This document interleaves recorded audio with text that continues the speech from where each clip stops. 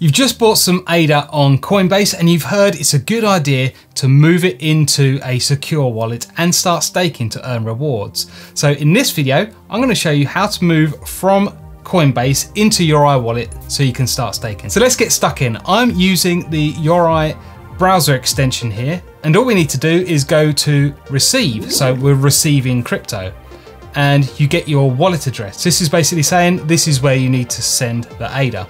So I'm just going to click on the copy button here.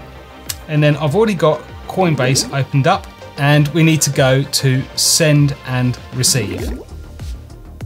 And we're going to be sending it this time, sending it from Coinbase to your uh, iWallet. You need to put how much you want to send. I want to send all of it. And here it says to, you paste in your wallet address. You can just leave the note bit uh, blank there and click continue. Now you're going to get a preview of the transaction that's going to take place. So you're going to send uh, just over 30 ADA and it's going to cost you 0.18 ADA, which is about 3p. So it's, it's nothing really. And it's telling you the exact value it's going to send. Now you just got to click send now.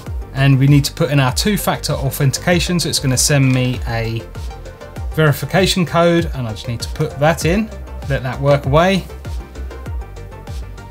And we're done. It's now been sent to the Yoroi uh, wallet. It might take, there we go, transaction usually takes less than five minutes. So if it's not in your Yoroi uh, wallet straight away, don't panic, just give it a little bit. But if we wait, if we go transactions, no, it isn't in there yet.